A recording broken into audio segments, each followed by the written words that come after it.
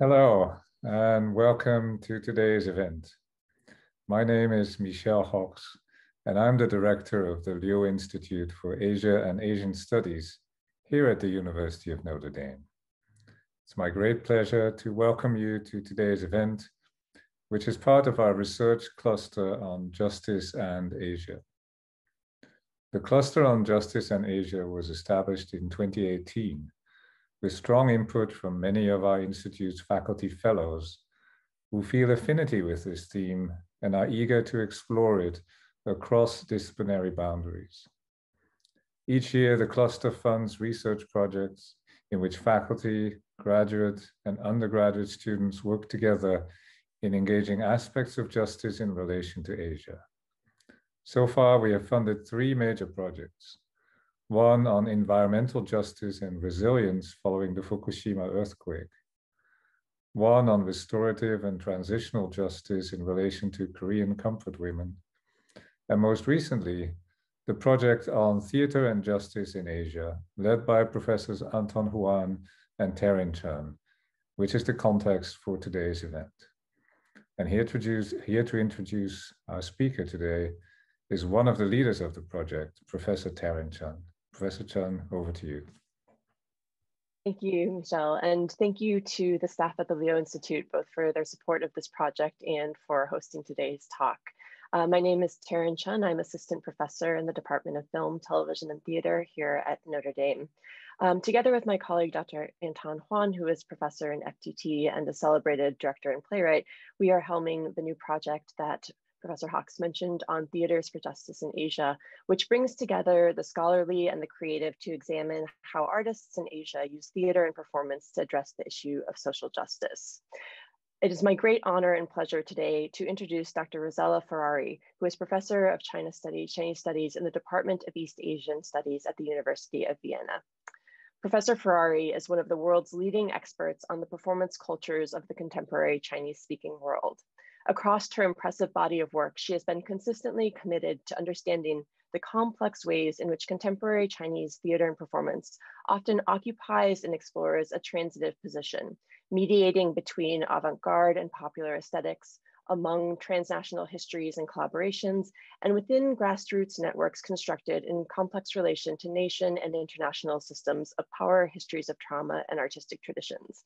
Many of the current theoretical frameworks and essential keywords for understanding contemporary Chinese theater come from her work, which includes books such as Pop Goes the Avant-Garde, Experimental Theater in China, Contemporary China, which was published in 2012, Transnational Chinese Theaters, Intercultural Performance Networks in East Asia, published in 2020, and Asian Cities Crossings, Pathways of Performance through Hong Kong and Singapore, co-edited with Dr. Ashley Thorpe of Royal Holloway University of London and published this year in 2021.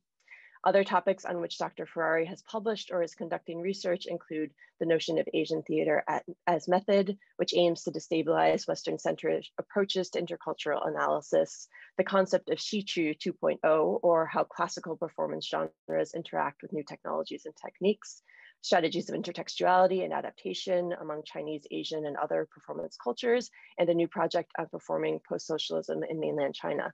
Dr. Ferrari's research, especially her recent publications on grassroots theater networks in East Asia, speaks deeply to the work on theater and social justice that Professor Juan and I are currently conducting. We are therefore thrilled to welcome her today, and thank you all so much for joining us for what I'm sure will be an enlightening talk. I will now turn the floor over to Dr. Ferrari, but invite you all to stay after the talk for a moderated discussion and the opportunity to ask questions during the Q&A on Zoom.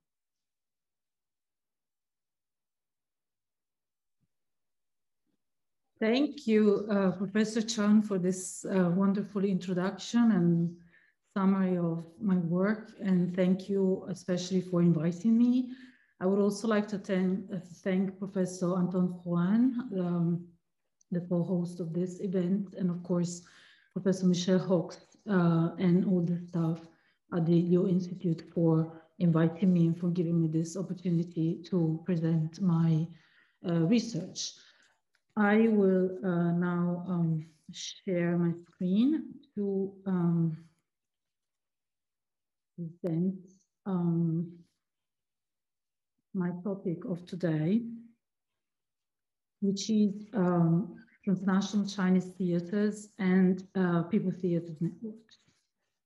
So this um, talk is um, based on, oh, sorry, is based on a book which, as Professor Chun has um, mentioned just now, was published uh, last year. So it was actually published just before the pandemic started. And, um, and I always say that it is somehow, somehow ironic that a book that discusses the idea of transnationalism, the idea of traveling, the idea of journey would be published just when we actually stopped doing all of these um, activities. And, uh, and therefore, I cherish even more the opportunity to discuss aspects of this book here today um, um, in, this, in this forum.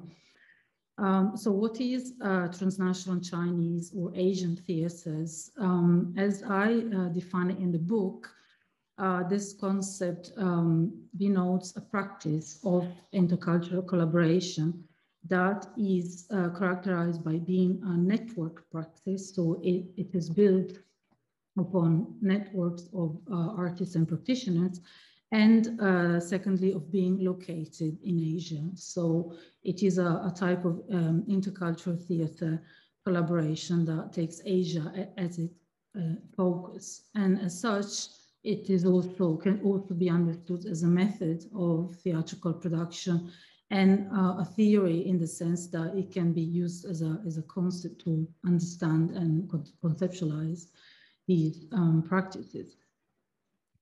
And um, also um, a characteristic of, of, of transnational Chinese theaters, as I define it, is its relational quality.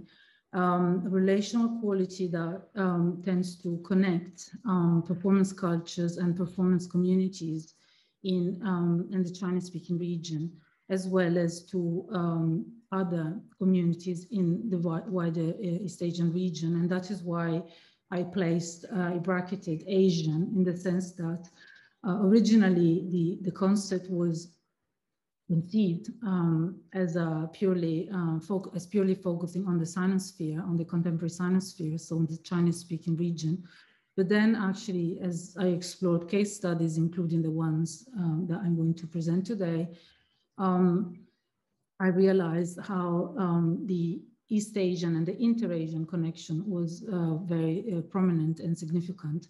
And therefore, um, um, is, and this is the reason why this Asian is bracketed there. So the idea of transnational Chinese or transnational Asian, uh, the, uh, these two ideas are supposed to be complementary and one somehow expanding the other um, because um, the ultimate purpose or, or aspiration, let's say, of this concept is to rethink not only the situation of theatrical collaboration and performance uh, networking in East Asia, but to provide uh, a model to rethink um, intercultural performance theory from the perspective, in, in my case, a specific case of inter-Chinese or inter-Asian networks, but potentially also other types of networks in Asia or between Asia and other um, regions um, of the world that are not necessarily Western centered. And I will come back to this point later.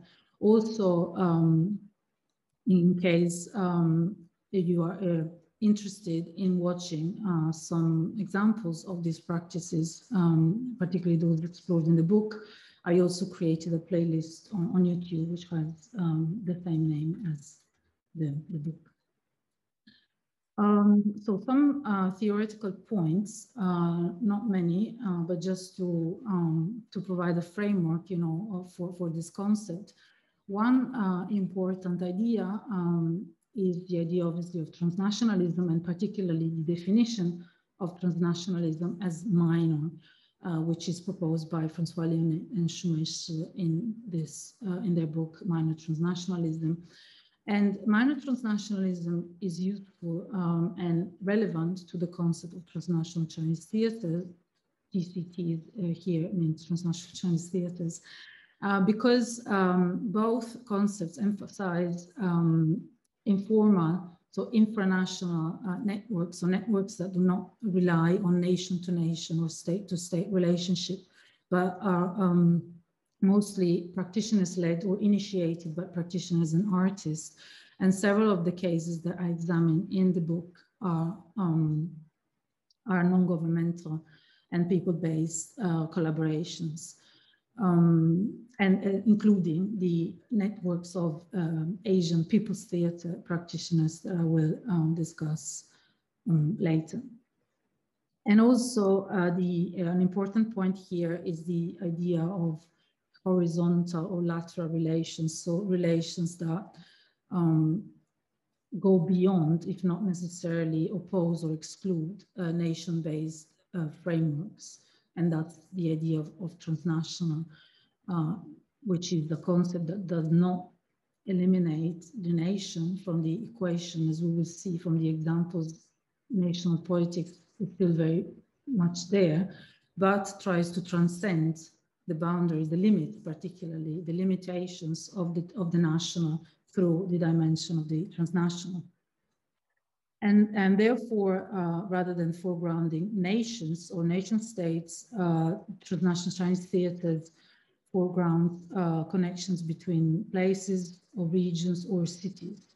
Uh, and, and in particular, this idea of the city as a methodology or as a framework to understand uh, collaboration in Asia is explored uh, further in this forthcoming book, um, which uh, Professor Chun has mentioned just now, Asian City Crossing, which is the edited volume, um, which I co-edited with uh, Dr. Ashley Thorpe and uh, focuses on Hong Kong and Singapore as nodal points of city to city performing arts connections in Asia. And it is um, a collection of essays by both um, scholars and also practitioners from the two cities.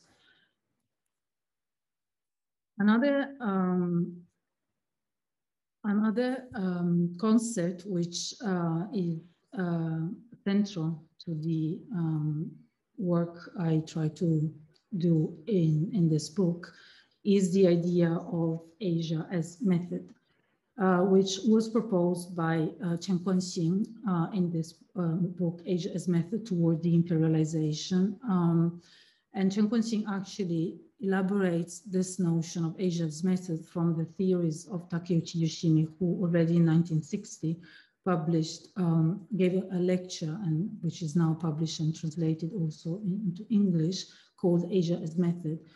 Um, and Guanxing define, a, defines Asia and takes Asia not only as a geopolitical or geolinguistic entity, but as what he terms as a structure of sentiment or an anchoring point um, uh, to forge um, connections. Uh, in that sense, anchoring point. And also Asia uh, is taken as, a, as an epistemological site, as a site of um, knowledge production. And I put uh, Chen Guanxing here. Um, so Asia refers to an open-ended imaginary space, a horizon through which links can be made and new possibilities can be articulated. As an attempt to move beyond existing limit and as a gesture towards something more productive, my notion of method does not imply an instrumentalist approach, but is imagined as a mediating process. And this idea of mediation, and uh, in, in the case of today's examples, also um, mediation in the sense of reconciliation is quite crucial to several of the examples that I look at here. And the aim um, of Asia's method for Chen Guanxing is to uh, shift points of reference towards Asia in the sense that um, instead of always centering our discourses on, on the West uh, as method, as he calls it, we can refocus our inquiries taking Asia as the center. And this is why he talks about uh, a tripartite process of decolonization, de-imperialization, and the Cold War, which I believe is his neologism, of what? Of epistemologies, of ways in which we understand Asia and how, and, and also how Asia understands itself and defines itself, uh, of social processes and also structures of feeling within Asia, including feelings uh, often tense between different regions and different nations within Asia. And also in my own particular case, uh, the um, idea of exploring Asia's method is also an attempt to decolonize and de-imperialize the idea of um, interculturalism. by, as, as I explained earlier, try to refocus the idea of the interculture um, on Asia. Uh, finally, um, another um, important uh, mm, or central um, concept in, in my study is the idea of significant chronotopes. Uh, the idea of chronotopes is obviously uh, not my own term, but comes from um, Michael idea uh, of theory of the chronotope in literature. And in, in the, the way I use it here uh, is to denote uh, significant uh, time spaces or sites of collective memory in East Asia, which are interreferenced cross or cross-referenced and are collectively and jointly um, problematized and commemorated through the intercultural collab collaboration. Um, so basically, um, what interested me when I selected these case studies and I decided to organize the book according to these significant chronotopes is what happened when a, a particular event, especially a traumatic historical event, is uh, remembered and is worked through um, performatively by uh, a group of collaborators uh, coming from different places, not only from necessarily from the place where this event occurred. And also, of course, there are events in the history of East Asia that um, are shared, for example, uh, the memories of the Pacific War um, and the struggles for democracy uh, across, across the, the region, among others. And so uh, a lot of these works, in fact, although they take a transnational perspective on, on the notion of memory, in fact, they, they thematize what Michael Berry in his book, uh, History of Pain, calls centrifugal and centripetal trauma. So basically, they uh, the transnational collaboration gives artists uh, an and audiences indeed an opportunity to uh, memorialize contentious national histories in a transnational um, setting or, or, on a transnational platform. And also uh, um, several of these works, um, um while trying to create this cross transasian relational memory by remembering uh, themes and events that are uh, common or shared between the collaborators, they also at the same time emphasize uh, events uh, within the nation. And this uh, will become clear, hopefully, when, once I move on to the examples. And again, here, uh, the idea is interreferencing um, cross comparison relations, um, and therefore uh, the idea of inter-Asian referencing as proposed by uh, uh, and Iwabuchi Koichi, among others, uh, is relevant here in, in, in the sense um, for the purpose of, of interreferencing memories. Um, and one example here um, is uh, the um, this uh, series of two performances, uh, 30th Parallel Still Play and 30th Parallel in Taipei, that was produced in 2005 and performed in South Korea, um, Taiwan, and mainland China. And, and this um, was created by a network of um, so-called people's, people's theater practitioners from um, Taipei, Hong Kong, uh, Shanghai. The Shanghai group was actually the initiator of the project uh, um, on the invitation of um, practitioners from South Korea. And also uh, the, the first production features um, two South Korean performers.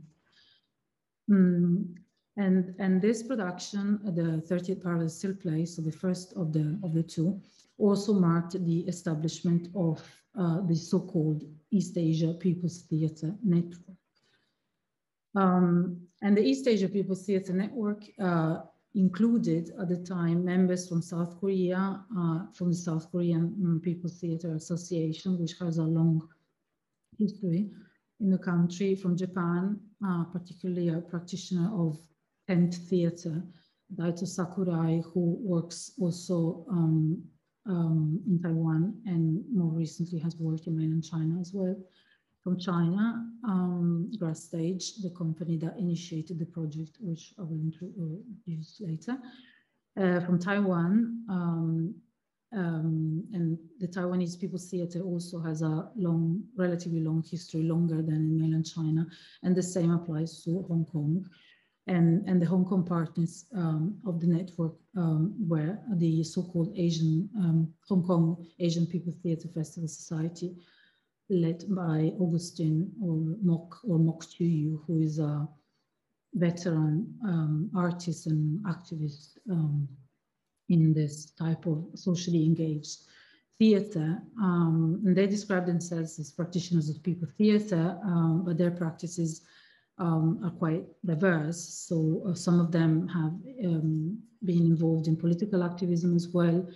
Um, in uh, and, and, generally, they all um, work within uh, the category, the broad category of social theater or, or theater for social justice, which includes a range of methods, uh, including applied theater, playback, forum, um, works uh, within the local communities of the respective countries, theater and education, and so forth. And generally, um, the inspirations that these groups um, often bring up are the theater of the oppressed, um, the method um, pioneered by Augusto Boal in Brazil, in the US, the Bread and Puppet Theater and San Francisco Mime Troupe, and in the Philippines, particularly um, this group, the Philippines Educational Theatre Association, is um, was a key reference to, to start uh, practices of so-called people's theatre in East Asia, as well as the Black Tent Theatre, Kurotento, um, um,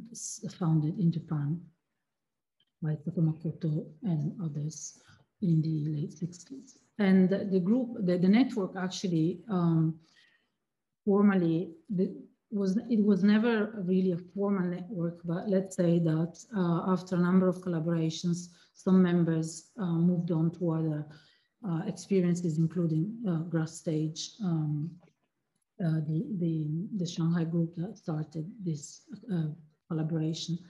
But other members have continued working. And for example, last year, they have uh, held uh, uh, East Asian People's Theatre Festival online for um, due to the pandemic, of course, which was uh, live streamed from part live stream from from Seoul, and then um, other performers joined in from Thailand, Taiwan, Hong Kong, and it's um, parts of it are on YouTube if you are interested in looking some examples.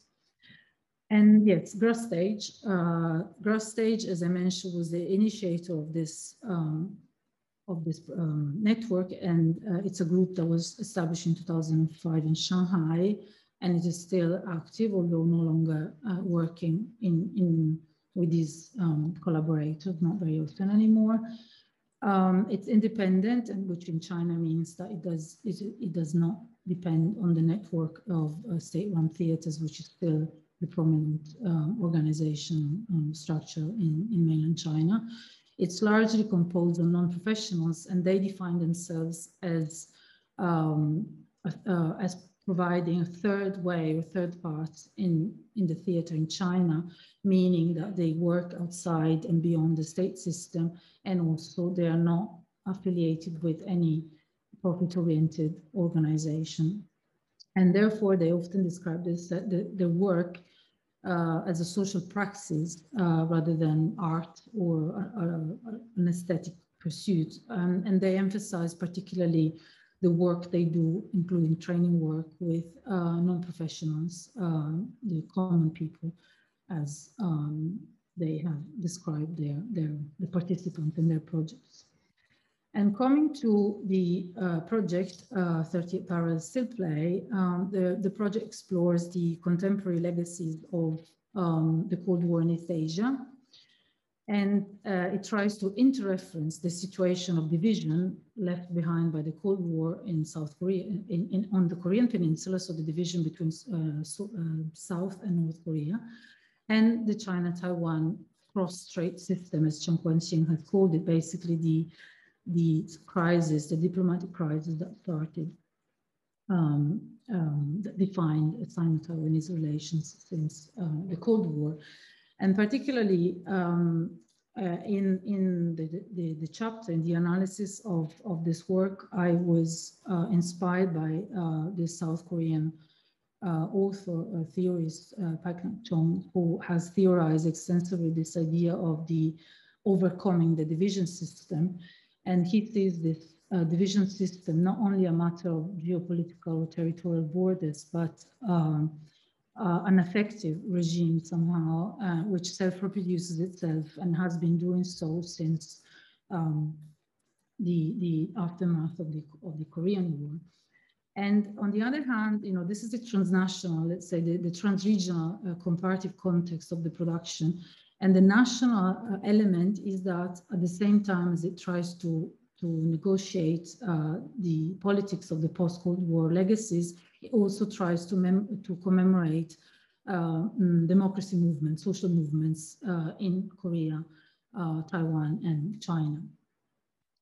So here the significant chronotopes are several. So uh, one is Beijing Taipei 1945, basically the origin of the China-Taiwanese cross-strait crisis after the Second World War uh, and following the, the, the, civil war in China when um, the Kuomintang government then established itself in Taiwan and China was, uh, the People's Republic of China was founded in 1949 by um, and um, the second is uh, Panmunjom 1953, which is the site of the Korean Armistice Agreement after the Korean War, which sanctioned the division of the two Koreas.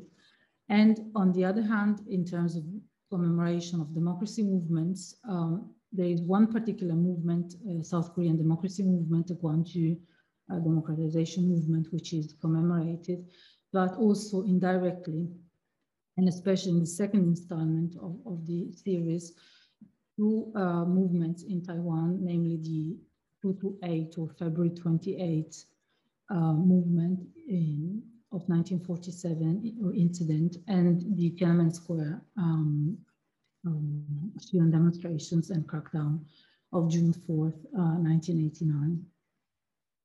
And um, the, the, the, play was performed um, in this festival, the Asian Madang People Theatres Festival in South Korea in Gwangju. So it was a festival organized to commemorate the 25th anniversary of the, the of, sorry, of the Gwangju democratization movement and um, it was held in, in a park that um, commemorates uh, this, this event. And it was and was performed in a tent, as you can see. It was performed in, in this uh, setting. And here I have some images of the um, of the opening ceremony just to show you, you know, the arrangement of, of the space and audiences and performance. And um, also um, the Gwangju democratization movement, I'm, I'm, not going to talk extensively about this, but just in a couple of words, it was um, a major uh, struggle for democracy that took place uh, in 1980 and which basically led to then, uh, seven years later, the first democratic elections in South Korea. And that's when also the, the movement was renamed uh, from uprising, as it was labeled um, the time of the event, into a, a legitimate move, struggle for democracy. And if you're interested, there's a, an, um, nice uh, film called A Taxi Driver, st uh, starring the lead actor of Parasite, the South Korean film, which you may, may have seen, which gives you a context to, to this movement, um, just for. And here I have more um, images of the festival uh, where you can see the type of theater that was um, performed there to commemorate the the events of uh, of the Gwangju um, democratization movement. Um, and some other photos from the Hong Kong and Taiwanese participants um, also dealing with issues of social justice, um, the, the context of my red dress uh, was uh, Cambodia. Um, so the, uh, the Khmer Rouge, Pol Pot, and the, the, the, the, the second, um, the silent wave by the assignment theater from Taipei was talking about uh, the Pacific War and its aftermath. So they were all focusing on uh, questions of, of, of redress uh, um, of justice or um, traumatic events um, in the region. And this is uh, uh, the opening of 38 Parallel Still Play, which opens with a video. So the production is uh, a physical theater production, mostly, mostly non-verbal, um, with uh, multimedia elements. Uh, so video um, footage, uh, historical footage, and also videos produced specifically for the production. And uh, the, the, opening video is interesting and, and, relevant to thematize this idea of the division system because it shows um, a children's game um, in which two children basically draw, first draw with a pencil and then cut through with uh, uh, a knife, uh, a division line across their school desk. Um, and, and in this way, uh, the production basically introduces um, the genesis, if, uh, so to speak, of, of the division system uh, by showing how um, the processes of socialization and education are informed by this idea of division uh, from the very early stages of life, and also the idea of tracing the division with pencil first and then with a knife shows how the division was supposed to be temporary in South Korea. And also, if we think of the China-Taiwan example, you know, there was this idea that uh, the mainland would be um, recovered, but then this never happened and it became a perpetual state. Um, I have some videos here, but I'm also aware of time. Uh, so I think I will not play them because um, unless maybe there is time later, but you can find all of these videos on in the transnational Chinese theater, the playlist on YouTube that I mentioned earlier. Um, and um, what is interesting here is that where the first video uh, shows clearly, uh, you know, this process of division, also uh, in terms of colors, you know, by color coding the arms of the children, uh, red and white.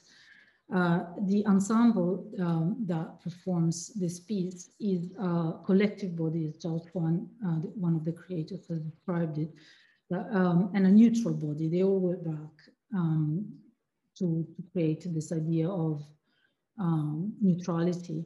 And also, interestingly, uh, Chuan has described this piece not exactly as a work of art, but as an incident um, which carries out a discussion, a physical discussion or discussion through the body. And as I mentioned, there is very little, there are very little spoken, uh, few spoken parts in this production, which also uh, itself well to, to the international um, setting of the of this uh, of the premiere of this work. And um, I have a few other slides with images uh, to show how this division is uh, visualized through media. So here's historical footage of US soldiers uh, unfolding a flag across um, the 30th uh, parallel at the end of the war. And also in the theater, the, the, um, they use sellotape to, to trace a line on the on the ground.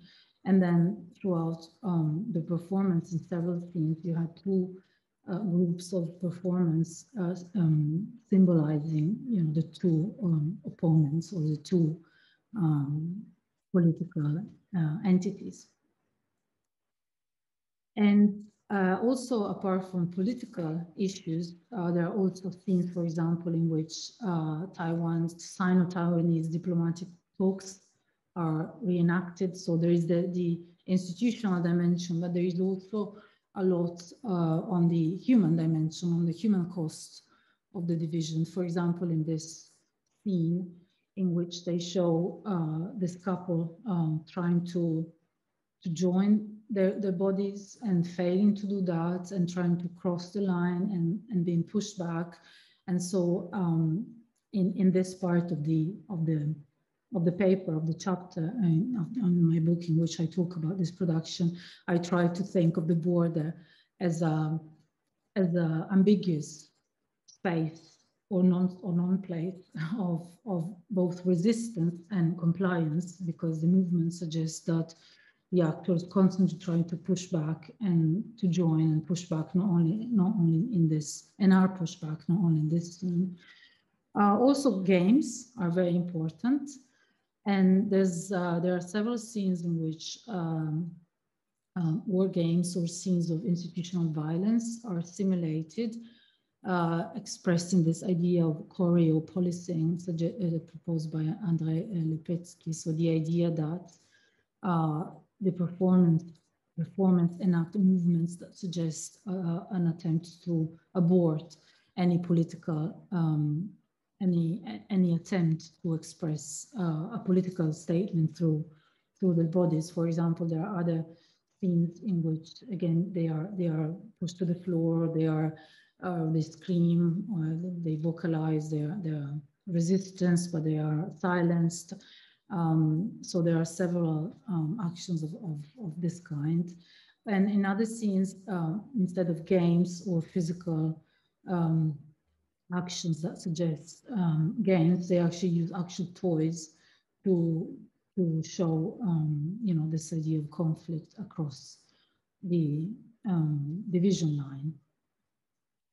And um, also interesting is in terms of the evocation of military brutalities, the way they use uh, stuffed clothes or clothes stuffed with newspapers to to try and show uh, to show um, the institutional violence, the brutality that took place both in the um, war scenario and in the uh, struggle for democracy in South Korea.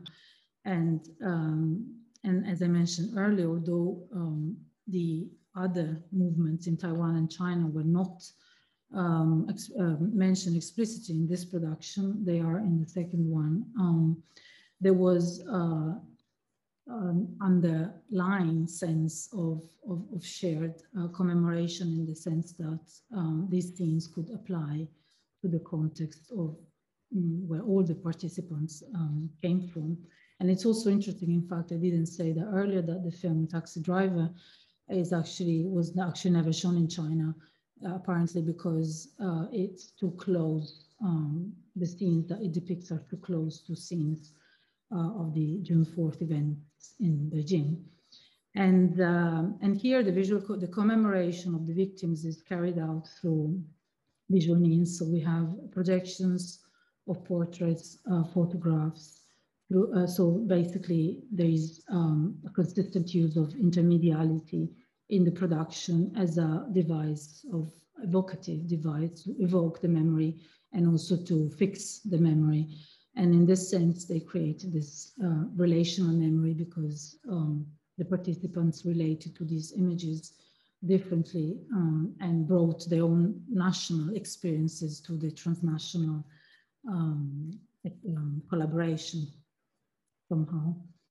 Uh, and finally, um, it's interesting to, to, in conclusion, to talk uh, about the final scene, which ends with um, ambiguity. So this, this theater, this work, and the next installment, and other works that this uh, network has created, they do not um, have obviously the ambition to provide any solution or any conclusion to uh, the problems that they raise, but the idea is to um, mm, raise awareness and to start a discussion.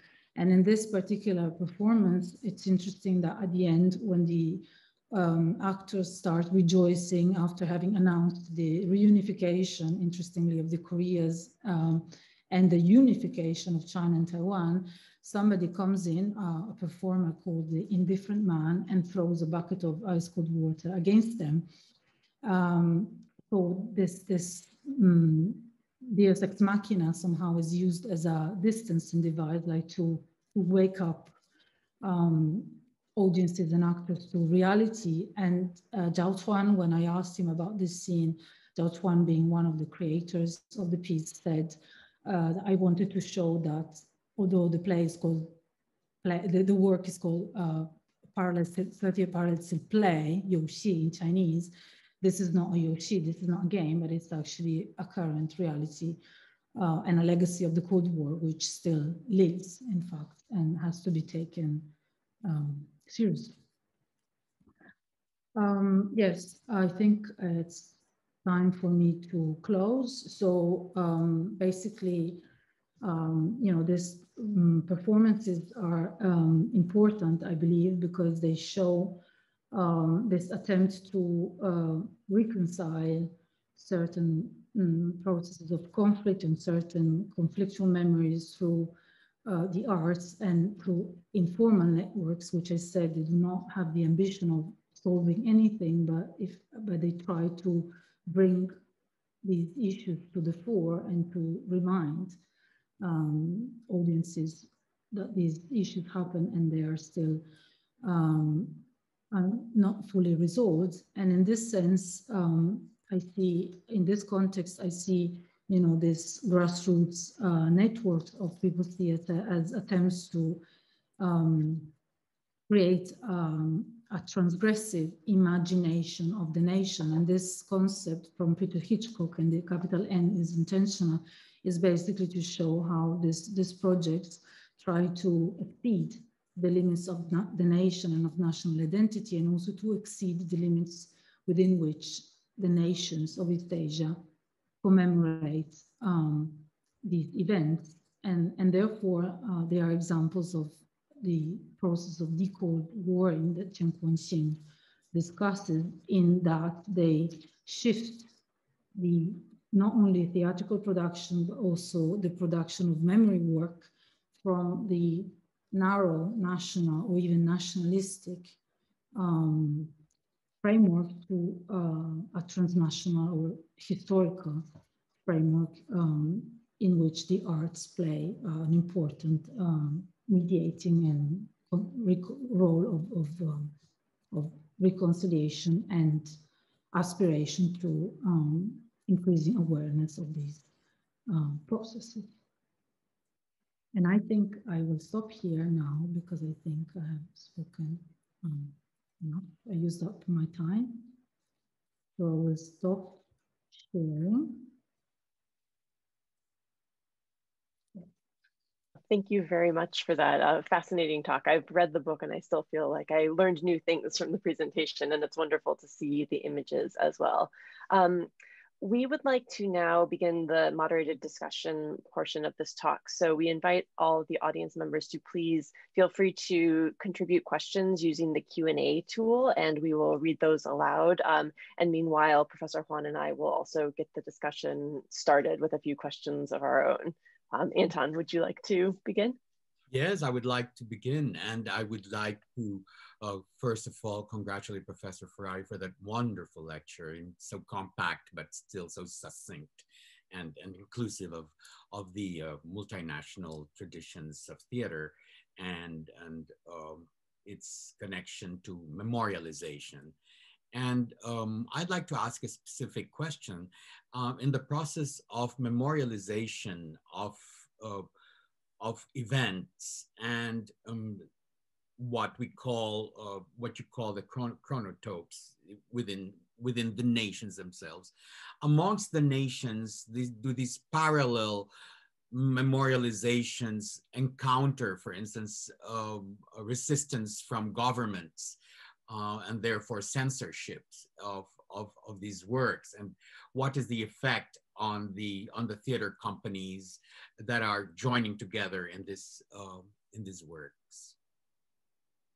Thank you, uh, Professor Juan, for this question. Yeah, this is very important, uh, very important dimension because, as I mentioned, uh, the fact that these works operate on a transnational level does not obviously exclude the the realm of the national and national uh, politics, uh, and um, and that is why um, uh, the particularly for mm, practitioners from mainland China, I think it has been somehow productive and even liberating to go and produce this work uh, in South Korea or in other cases in, in Hong Kong and uh, Hong Kong a few years ago, not quite now, and Singapore as uh, freer spaces where they could express certain um, ideas that perhaps in, in, in mainland China would not be, uh, would not go through, past the the monitoring process. For example, this production was actually performed uh, in, in, in Shanghai a few times, but um, it was not publicized. So the also, I think I, I could only found one review. It was absolutely under the radar. Um, and also, interestingly, it was performed in a space which is not a theater, but used to be a, a sort of um, creative space uh, slash rehearsal uh, uh, where it was an old warehouse. And in those situations uh, they, they, don't sell tickets they go by donations. And in that sense they can bypass the the monitoring process. Yeah but that is about the specific um, circumstances of Grass Stage other examples i look at in the in the book uh, for example there is a production uh, Sino-Chinese uh, Singaporean production about the Second World War, um, which is an adaptation of a play by a playwright from Singapore called Kuo Pao Kun. Uh, and that one uh, had an interesting story because both uh, China and Japan tried to perform it, but they never succeeded because of the sensitive content. So definitely there is this dimension, yeah. Um, think, do we have questions from other people who would like to give? Not yet, but I'm going to speak directly to all of my students out there and ask you all to uh, please contribute some questions through the Q&A tool. Um, you know, I think that I wanted to ask one question, which was related to that, you know, sort of on the flip side of censorship in terms of the impact that these productions have, you know, who are they speaking to? And if the goal is, you know, to not so much to make a strong change, but rather to make a political intervention by drawing awareness to these shared traumas and memories and parallel histories in new ways. Um, what what do we see in terms of how that is affecting audiences or even other theatrical productions in these areas? What's their their sort of reach and influence? Yeah, I don't think um, in the case of, of, of this production, I don't think uh, the reach um, in China or um, in Taiwan was particularly significant uh, because of the reason I just uh, reasons I just explained. Uh, but uh, in South Korea, uh, where the debate is more open, uh, apparently it then triggered other. Um, it, first of all, it triggered quite strong audience reactions apparently when it was premiered in in Gwangju. And, uh, and then it also triggered more dialogues and more collaborations between these artists as a result of this, um, also aimed at exploring other controversial, let's say, issues, not necessarily regarding memory or national atrocity, but also um, issues of um, uh, exploitation of labor uh, or social justice, war zones, um, mm, child labor, um, women's issues or minority issues as well. For example, there is an Aboriginal group from Taiwan that at some point participate in this network. Um, but generally, they don't have, they haven't had um, huge, you know, audiences, and particularly uh, non, not really like commercial, you know, like paying audiences um, in the traditional sense. In Taipei, it was performed at the Guling Theatre. Um, so that was, I believe, uh, a more traditional theatrical setting. But in this case, it was more a sharing process rather than, you know, performing for an audience. Yeah. Thanks. Do we have another question from the audience? Is, is there one? Why don't you, Anton, would you like to follow up? Well, and I wanted to, I just wanted to uh, ask uh, Professor Ferrari, uh, what is her take on the urbanization of theater? And how is this uh, uh, moving forward when it comes with, with the, the, idea of a transnational uh, collective movement across Asia, where, where theaters are no longer uh, centered in, in cities, but you know, in the different regions of, of a, a nation. Is there mm-hmm. a, a, kind of a effect of the urbanization of theater on, on this uh, collective movement of memorialization? I didn't really look into urbanization as such, but I looked into cities as um, enabling spaces. So particularly cities like, um, as I mentioned earlier, Hong Kong and Singapore, which are both cities and states, and how those two identities can be negotiated or used uh, to the practitioner's advantage. And actually, if, if I think of urbanization, um, projects like these have actually done, um, had a positive effect, I think, in taking the theater outside the cities. So, because uh, often these projects, you know, they're classified as, you know, avant-garde, uh, that serve a very small community of artists or audiences in a city, for example, in Shanghai or in Seoul. Uh, whereas in, in this case, these groups have actually worked um, with um, rural community or, or more community in smaller cities. For example, um, mm, Grass Stage uh, have, has done uh, projects um, subsequently in which they took um, their works uh, in the countryside and tried to provoke debates there about issues of social justice, um, particularly the, uh, social inequality in China uh, among um, common audiences, not the usual suspects that go to the theater in, in the big cities. So I think there, there is uh, some something to say about the urbanization uh, or the de-urbanization, in fact, that these projects make bigger. Yeah. Thanks. Thank you. We have a question from Professor Michel Hockx, uh, who I think is asking one of the big questions related to this genre of work. Um, he asks, how do recent developments, especially in Hong Kong, affect the type of transnational collaborations that you've described? And can we still conceive of these developments in the context of Chen Kuan-Hsing's framework, given the recent developments? Uh, yes, that's that's a very interesting question. That obviously, um, I have a chapter on Hong Kong in this book, um, which talks mostly, focuses mostly on the pre and post 1997, so on the 1997 question. Um, but the, the second book uh, that somehow derived from, from, from this project, the Asian City Crossings, uh, was started um, before the protests um, and before, uh, and, and, we basically closed it and submitted around the time where the national security law was uh, issued. And we had a lot of, um, we had some decisions to, we had to take some decisions about, you know, um, exposing uh, certain contributors, for example, from Hong Kong, um, to some of them, for example, write directly about the national security law. They write directly about the, the umbrella movement, the protest, uh, and we, we had this uh, feeling that perhaps this uh, Asia as method, uh, you know, co co community was no longer as safe as it was when, when, when we started the project.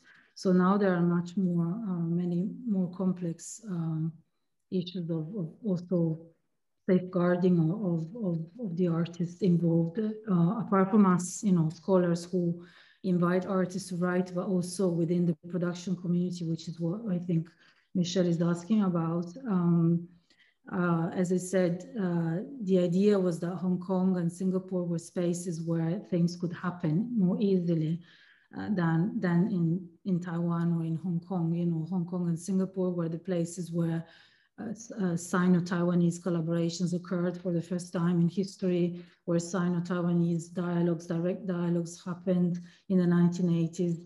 But now uh, things, I think, are going to probably be um, affected, yeah, um, be different. And this is why also I mentioned the irony of this project because, um, you know, with the pandemic and this, this new laws uh, coming into effect uh, in Hong Kong, particularly, uh, the future of transnational Chinese theaters is not the one I had envisioned. Yeah. It's transnational Chinese Zoom theater now.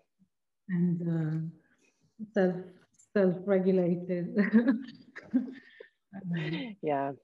Um, which I don't know. I mean, I it's not a positive development, but I think maybe the there'll be another cycle of these parallels developing though, because in periods of repression, then it's another opportunity eventually to connect those traumas and histories. But in the moment, I it's incredibly vulnerable and dangerous for a lot of these these artists. Um, we have another question from the audience uh, asking to what extent is the East Asian diaspora in Europe and America engaged in any of these collaborations?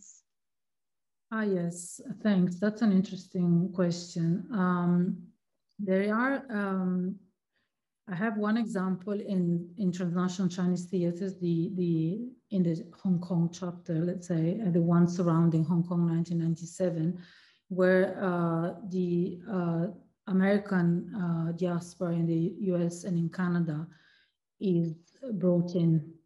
Oh, and also uh, Japanese Americans. Uh, one, one choreographer from New York was also a participant. So there are also um, questions of identity discussed in relation not only to Hong Kong, but also in relation to to the Chinese uh, transnational communities and also to the um, diasporic effects that 1997 created, you know, when, especially after Tiananmen Square, uh, when many, uh, several, a, a, significant portion of Hong Kong citizens uh, thought um, to try to relocate uh, and also, uh, particularly, um, the, the, North American examples deal, yes, with, with questions of, of, of identity.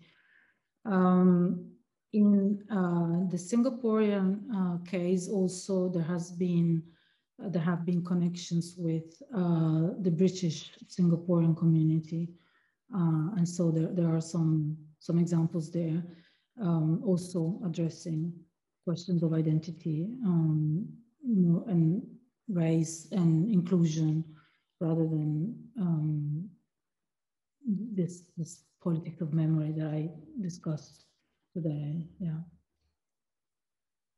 Could I ask a sort of a follow-up question that I think will be relevant to my students? So the, the class that's attending today is a world theaters class, and we talk a lot about you know, specifically the way in which contemporary theater artists self-reflexively engage with their theatrical traditions. And I know that's not as much a part of what's going on with 38th Parallel Play necessarily, but I know you've done a lot of work on this in general. And so I'm curious to what extent you see that sort of um, you know, the, the Xiqu 2.0 or other ways of engaging with the national theatrical tradition also playing into these transnational networks and collaborations. Oh yes, thank you. Yeah, that's that is um, another mm, significant part of, of, of this uh, Asian method or Asian theater method um, framework. So the uh, the focus of not only on works that happen in Asia, but also that somehow rely on on the Asian performance heritage to to, say something about about the present. And uh, um, in this case, not in the 30th parallel, but there were um, other works in, in the festival, South Korean uh, works that actually engaged local traditions like um, shamanic uh, performances of Korea with dance um, specifically. Uh, in, in my research, I've used mostly the example of Kunqu and Noh theater uh, used um, um, both in terms of actors performing, but also uh, the recycling and, and rewriting of text to um, mm, talk about present um, conditions. For example, in, in the performance, and the collaboration I mentioned earlier, the Spirits Play about the uh, Second World War um, in Singapore and in China, they, uh, the cast was uh, composed by actors, uh, contemporary dancers and theater actors, but also uh, actors from Kun Opera, um, and Noh theater, Japanese Noh theater, um, to commemorate this, um, the, the wartime atrocities in, in the two places. And also in connection with the idea of reconciliation, the fact that they invited particularly, specifically Japanese actors and actors from Nanjing, from, from, from Nanjing, which is the site of uh, the infamous Nanjing massacre of 1937, to collaborate on a project on the war obviously it was not accidental. It was an attempt to try again, not to surely to solve uh, an unsolvable probably issue, but to, to bring attention and to try to create some bridges, at least at the in maintain the, the non-governmental informal level of the uh, the arts. Yeah. Yeah, um, I'm remembering being in Nanjing in 2010. 2010 was that when one of the exchanges happened? I can't even remember now. Um, but I think you know that that that person to person connection, even just on the level of the individual actors having that exchange and then incorporating that deeper awareness into their own work is a really significant intervention. Um, we have another question from the audience that is in a similar vein, I think. Um, that may be a little bit more fine grained, asking to what extent do distinct regional performance styles, so like Kunqu that you mentioned, um, interact in transnational theatrical movements that connect theater makers from different backgrounds? And also, do any specific East Asian styles dominate, or are the contemporary movements you've written about, do they combine styles or incorporate more Western performance?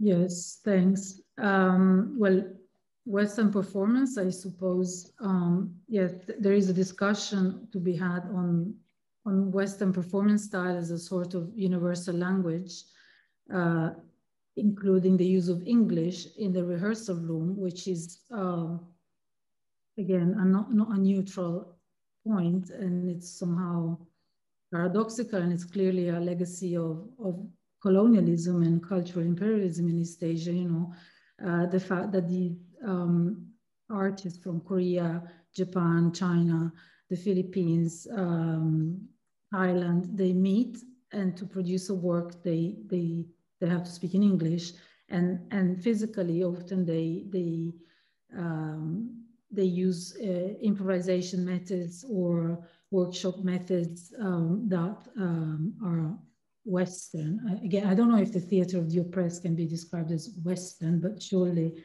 um, you know, for example, in, in the performances of, of um, Danny Yung with Zuni Icosahedron, you know, the, the style is the postmodernist style of multimedia theater that we have seen um, that now has become a universal language.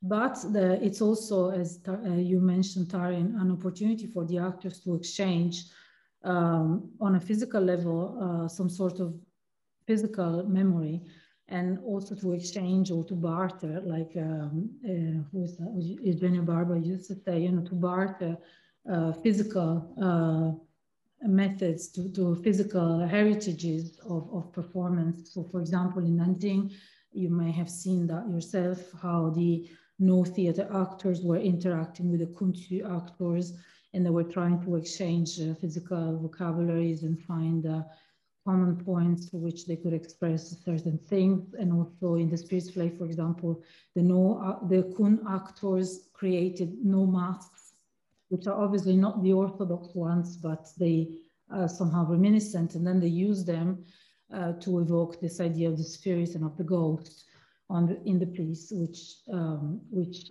uh, connects um, uh, with the, the, the, the, repertoire of Noh theater, you know, as a theater that often uh, brings ghosts back with a story, usually a story of somebody being wronged and seeking revenge.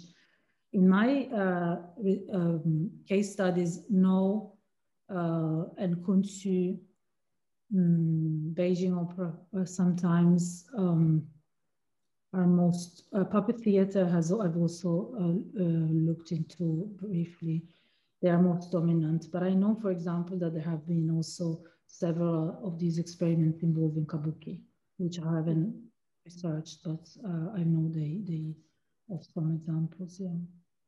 I think they, sorry, just to, to I think actually the, the, the, the idea is to explore the, those genres that have been classified as uh, intangible cultural heritage by UNESCO. Mm -hmm. Yeah.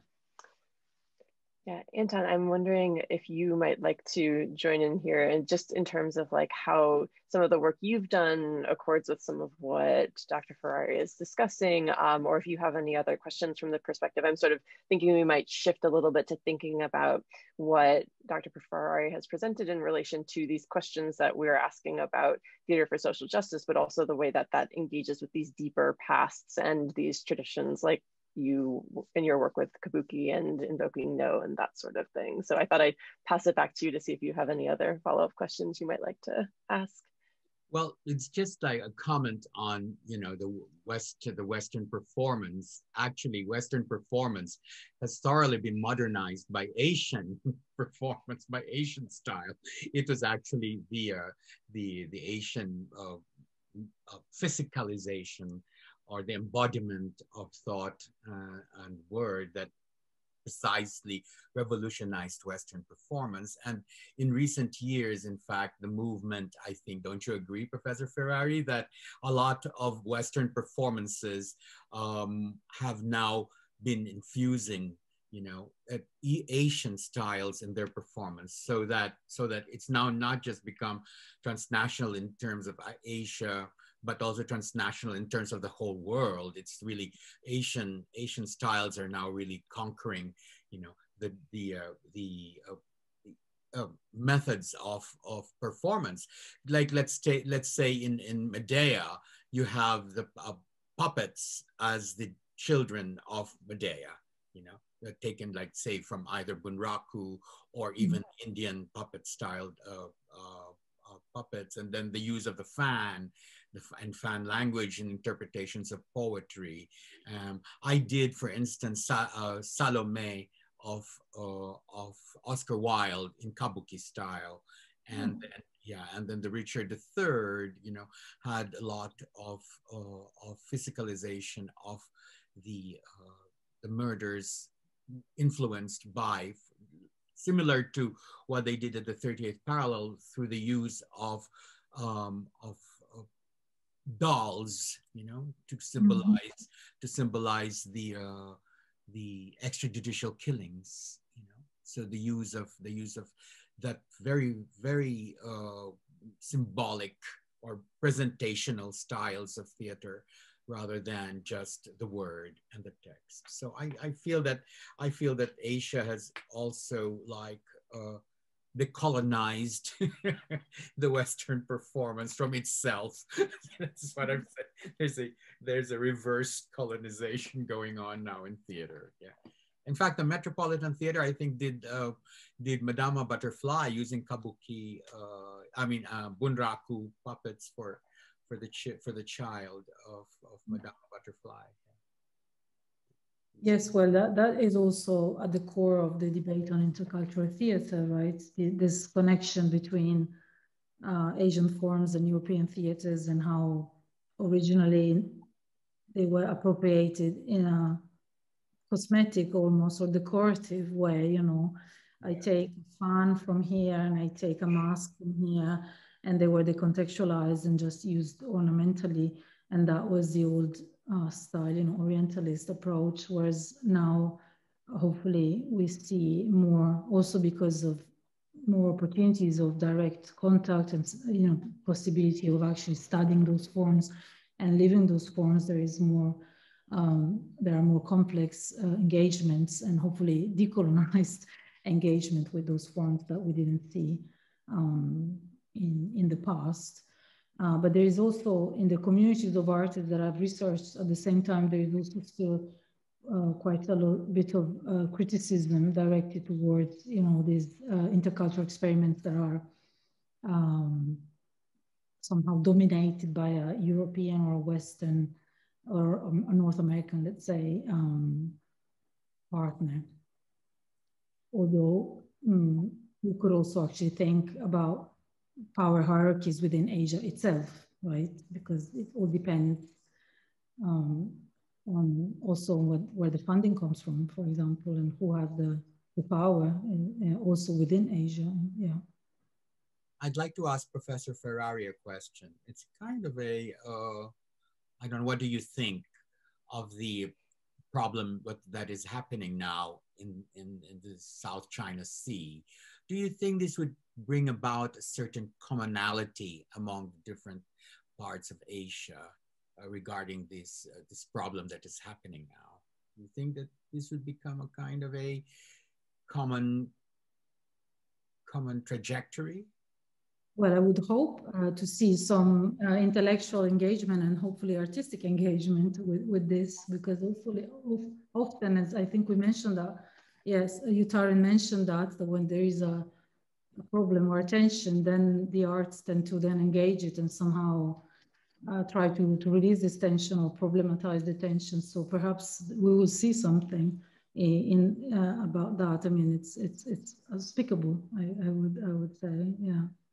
To see the artist engaging with that, um, I'm I'm more suspicious of of um, state-sponsored projects engaging with any right. kind of political of political events because often the idea is to to drive the the narrative towards certain specific direction that closes out other voice, you know, other possibilities. Yeah. yeah. I was curious, um, you know, just to go back to what you were mentioning in terms of the artist's attitude towards some of the perhaps like globally better known intercultural theater experiments, which again, to gesture to my students in the audience, we have talked about a lot of these over the course of the semester.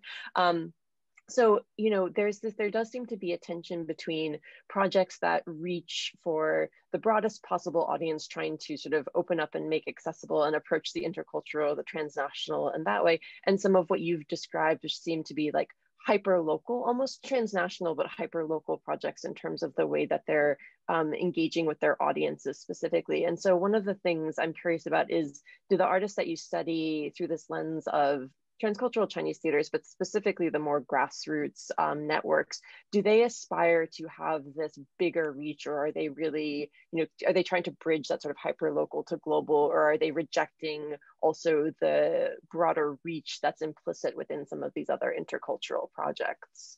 Hmm. Yeah, that's an interesting question. Um, I know that um, Grass Stage, for example, uh, after this project, which was the, their first project, they, they continued uh, engaging with other networks, including one called Asia Meet Asia, which has traveled much more and, and performed their works more extensively still within Asia, however. So Japan, uh, they also collaborated with India. And I think actually they're, they're not particularly interested in going transnational in the sense of international. So for example, performing in Europe or in, in North America or in Australia, whatever, um, the, uh, the center, you know, the traditional center of, let's say, festivals are. Uh, on the one hand, because I think they are really committed to these dialogues, uh, you know, these minor dialogues, uh, in especially with um, people from the global south, uh, I know that Zhao Chuan uh, of Grass Stage has been working in, in India a couple of times already and doing workshops there. So I think there is a genuine interest. And also, on the other hand, I think um, there is also, um, there are also some bad experiences. Like there is, a, I can say this because there's a video which is public. For example, they tried to collaborate years ago uh, with a, a company in based in the UK on this project, a World Factory, which was um, supposed to look at you know, the issue of China the factory of the world, Foxconn, mm. um, and um, issues of social justice relating to labor and labor movements. And it started as a cooperation, and then apparently um, the, the, Chinese partners accused the British partners of just using their materials, but not actually wanted to collaborate with them. And then eventually there was a British production, there was a Chinese production, but it was not a collaboration. And, and, and the way he explains it in this, in this, um, in, this talk, which is, as I said, public, so it's not secret, is that basically, even though, even though there is this whole ethos of, yeah, let's collaborate, let's do something together on social justice, then in fact, the productions process replicates the social injustice and the, and, and the unequal power dynamics that we see also uh, socially. You know, China is a world factory of the, of the West, and the Chinese Theatre Group provides materials to the West, which then stages the work in London, right? So I think that there's not so much, and Zuni as well, you know, Zuni Icosahedron, which is obviously much more international. I don't think they are particularly keen on, on collaborations with partners uh, from outside Asia. Yes, that, was, that is my feeling, also looking at the uh, production history. Yes. Maybe Thank it's you. the younger generations mm, because now we have, you know, as I said, hopefully more equal intercultural dynamics, more mobility. Yeah. The digital is also equalizing things uh, somehow. We have only about five minutes remaining. It's it's the end of the official class period. We're running to 12:30. So if anybody in the audience would like to ask a final question, um, now is your last chance. So please feel free to drop anything you would like to ask in the Q&A box. Um, Anton, do you have any final questions before we start to wrap up? No, I, I am I'm quite excited about the idea of uh, a kind of a touring company going. I'm, I'm, I'm, looking at, is there such a thing like a, a, group that would go from one country to another, you know, and perform each other's uh, issues in their own country and find parallels, you know, parallels in, in, in, in uh, each other's contexts. And would that uh, what do you think, Professor Ferrari? Would that be a feasible, realistic thing to do, or given the idea of oppression, of the oppressive state, you know, that's happening now, that's really happening in Asia, all over Asia? What do you think? Well, there have been such um. Uh, one example is this network Asia Meet Asia, which I um, also discussed in the book, which I actually created a uh, moving festival, touring festival that was taking uh, individual productions and collaborative productions all, all over uh, East Asia and South Asia and Southeast Asia, uh, dealing with uh, issues of, um, of, social of social justice. And that went on for many years. I'm not sure about um, the future um, because of the change in political conditions, which may make um, this flow, um, you know, less um, fluid, you know, may obstruct this, this mobility. Uh, and the, uh, another example is uh, um, this practitioner I mentioned earlier, Mok Chiu Augustine Mok from Hong Kong. He has been doing um, also um, has been working on this People's Theatre Festivals, which um, work uh, talk about, for example, issues of social labor uh, exploitation in India and in Hong Kong and of Indian workers in Hong Kong and performing across Asia. But uh, first of all, yes, the national security law um, that we mentioned earlier, uh, and again, the, the state uh, may pose a, um, um, an obstacle. And also in his particular case, he writes in, in, in, in his chapter in this Asian City Crossings book, which I edited, uh, um, this transnational experience also created a lot of problems, uh, financial problems, and a lot of problems uh, of relationships between all these different um, cultures traveling together, uh, practitioners traveling together. Um, but it has been done, so it is feasible. Uh, we will have to see whether the informality of these processes can bypass the the state um, restrictions. Um, as I said, in China, they have this method of performing on for profit to asking for donations instead of selling tickets, which is a is a way of of of, of doing this thing. Yeah, um, as long as it lasts. Well, and I think, I mean, I think that in and of itself is, you know, in addition to the way that you describe these sort of transnational flows and the the political focus of these artists and their work, I think it's really important counter to a lot of what we encounter within sort of quote unquote Western theater in terms of like our idea about fixed ticketing structures and who can access resources in order to do productions that move around in time and space. And so I think really refocusing on these minor to minor networks and what they're able to accomplish and unpack and create in terms of parallels is really significant. So thank you so much for your fantastic lecture and for answering all of our questions on that. Um, So I think it's about time for us to conclude. Uh, for everyone who's still with us, I did put the link to the playlist list that Dr. Ferrari mentioned in the chat. If you'd like to check that, that out, I also highly recommend her work, um, Transnational Chinese Theaters, and her forthcoming book on Asian city crossings. Um, so as we conclude, a huge thank you again to the Liu Institute for their support of this talk and the broader project, and to Dr. Ferrari for a fantastic lecture and discussion. So thank you very much. Well, uh, to you and Professor Chun again, and Professor Hockx, and everybody at the Liu Institute. It was my pleasure and honor to be here. Thank you. Thank you.